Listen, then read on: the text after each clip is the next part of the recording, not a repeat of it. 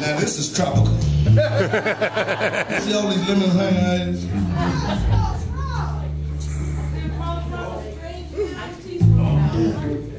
I don't know. I might. Yeah, they're gonna have to put me out of here.